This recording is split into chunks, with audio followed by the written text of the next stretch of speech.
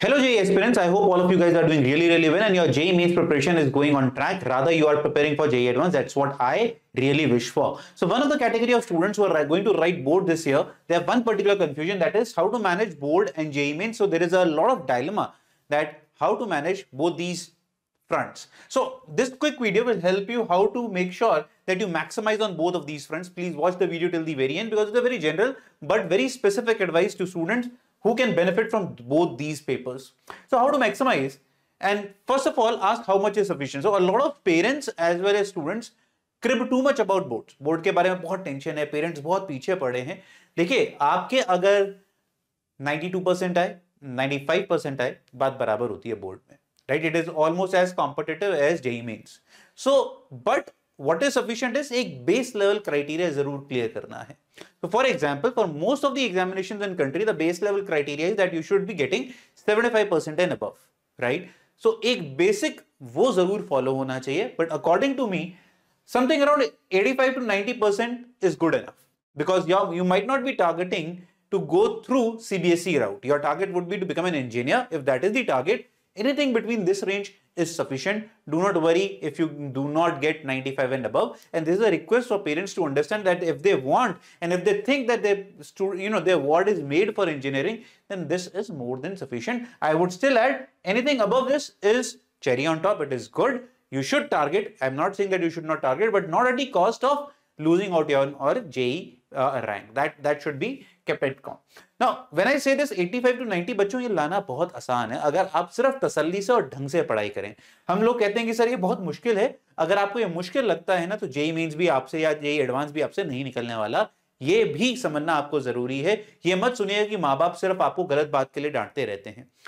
इतना लाना कोई बहुत बड़ा काम नहीं है। It's not magic specially given in these years where marks at CBSE are given with free hand now also to notice boards could be helpful to sir क्या बात बोल रहे हैं बोर्ड तो सिर्फ़ प्रेशर लग रहा है in certain subject specially chemistry it is a blessing in disguise believe me specially class twelve students leave out the droppers because they are better prepared on the chemistry front because of their board examinations. They are better prepared in physics because of their board temperament. That's what helps them to give an edge with respect to droppers. तो बहुत सारे बच्चे को लग रहा होगा ना dropper तो भी पढ़ रहे होंगे, उनके बोर्ड नहीं होते हैं बिलीव मी अगर आप ढंग से बोर्ड्स के लिए पढ़े, ये आपके एडवांटेजियस पोजीशन है डिसएडवांटेजियस पोजीशन नहीं है right so something to cheer about so अगर हम देखते हैं एक रिवीजन जो हम जल्दी से एक बार शेड्यूल पे नज़र डालते हैं सीबीएसई का जो है twenty fourth is English so English कब से करनी चाहिए? देखो इंग्लिश मेरे हिसाब से अभी आप रोज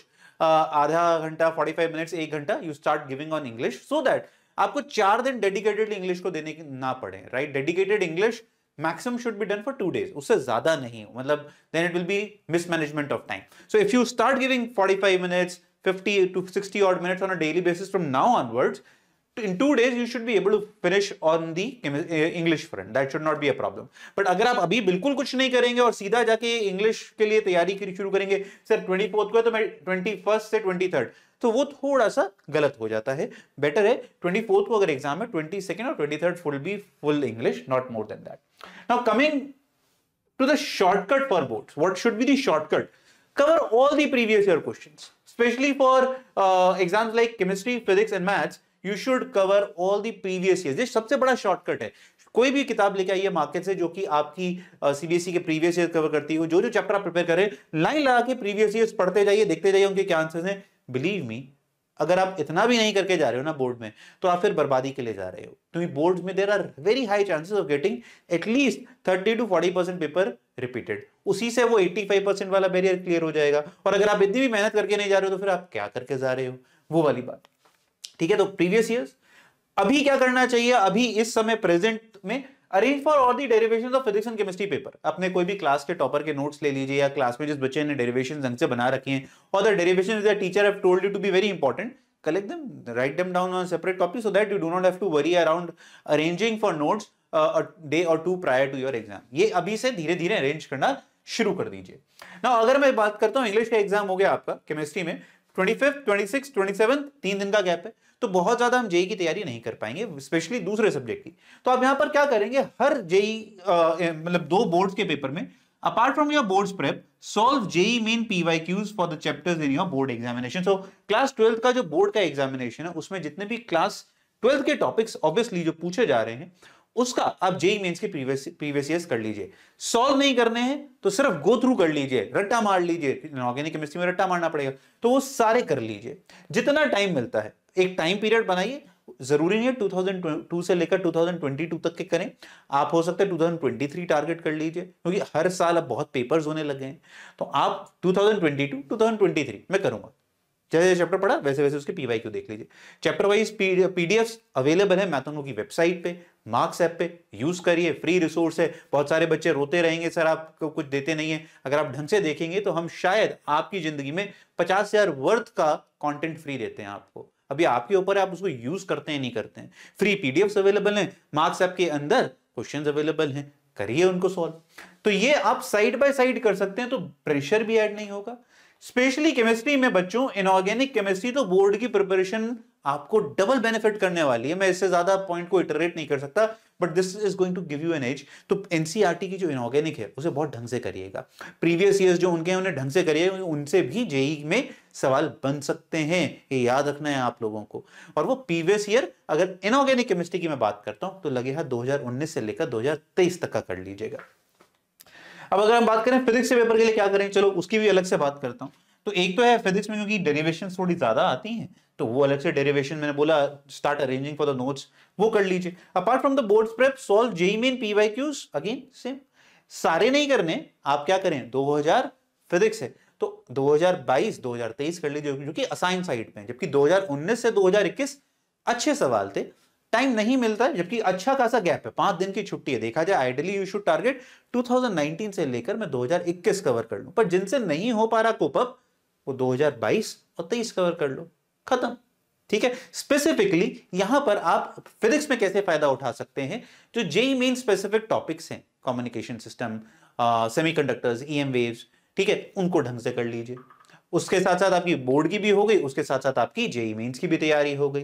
मॉडर्न फिजिक्स, जो कि बहुत आसान लेवल पे पूछी जाती है कई कई जगहों पे, अगर हम देखें तो वो भी प्रिपेयर हो गई। तो देखा जाए इन टोटलिटी आपका क्लास ट्वेल्थ आप हो सकता है इलेवेंथ मार्च तक पूरा जेई मेंस का भी निपटाते हुए चलें और लास्ट के 20 दिन आप सिर्फ़ और सिर्फ़ क्लास इलेवेंथ पे फोकस करें, वो भी एक प्लान ऑफ़ एक्शन हो सकता है। फिजिक्स से मैथ्स के अगर हम बीच की बात करते हैं मैथ्स थोड़ा सा डाइसी है। देखो मैथ्स क्या है? सीबीएसई e में और जेई मेंस का जो आजकल का लेवल आ रहा है, उसमें बहुत बड़ा डिफरेंस है। बहुत ज़्यादा बड़ा डिफरेंस है ना? तो मैं ये यहाँ पर तुम्हें सजेस्ट नहीं कर रहा कि आप सारे पीवाई क्यू करें, क्योंकि वो थोड़ा डिफ़िकल्ट सिनेरियो है। नहीं होंगे cover let's be very practical honest about it but what you can do is अगर आप कुछ चैप्टर्स को बड़ा ढंग से प्रिपेयर कर लें, जैसे कि वेक्टर और वेक्टर थ्री वेक्टर तो फिर भी सीबीएसई e पे आसान आता है, पर अगर हम वेक्टर थ्री की बात करें वेक्टर थ्री एक अच्छे लेवल पे जो आप बोर्ड के लिए पढ़ेंगे, वो डायरेक्टली यूज़ होगा आपका किसमें? बोर्ड्स के साथ साथ जेई मेन्स में। तो वेक्टर थ्री के सवाल आप बना लें ठीक है? कई कई टॉपिक्स ऐसे होंगे जो कोरिलेट बहुत ज़्यादा करेंगे जो मैचिंग बहुत ज़्यादा होगी उनकी यह डेफिनेट है उसकी मैचिंग नहीं हो पाएगी। बहुत ज़्यादा डिफरेंस है बोर्ड्स और मेंस के लेवल में। वेक्टर थ्री मैच हो जाएगा। बड़े आराम से मैच हो डिटर्मिनेंट्स मैच हो जाएगा आसान से जो आप पढ़ते हैं वही यहाँ पर करते हैं। आ, इस तरीके के जो टॉपिक्स हैं या फिर पाँच यहाँ पर देखा जाए समय अच्छा है आपके पास पूरे के पूरे चार से पाँच दिन बन रहे तो मैथमेटिकल रीजनिंग छोटा छोटा टॉपिक निकाला, उसको जेमेंस के लिए प्रिपेयर कर लिया। ग्यारह के बाद फ्री हो गए, काम पे वापस लग जाइए। So I hope this kind of proper planning fix planning logical planning will help you prepare better. If your board prep is going all fine, try to solve. Hundred PYQs every day but generally मुझे पता है जो बच्चे YouTube पे इस video को देख रहे होंगे उनका बोर्ड मैसअप होगा। अगर नहीं है जो कि बहुत अच्छी बात है तो आप 100 plus P Y PYQs along with your board preparation का टारगेट रख सकते हैं उसके लिए आप मार्क्स आपको यूज़ कर सकते हैं क्योंकि at the end of the day हमें सबको एक काम करना है हमें पेपर फोड़ना है। और मुझे कॉमेंट बॉक्स में बताइए what is still bothering you so that Matango and its team can come up, I can come up to you with the solution, with a practical. ठीक है, इधर उधर की बात नहीं practical solution that you can do God best keep working hard and I hope all of you will get your deserve result this particular year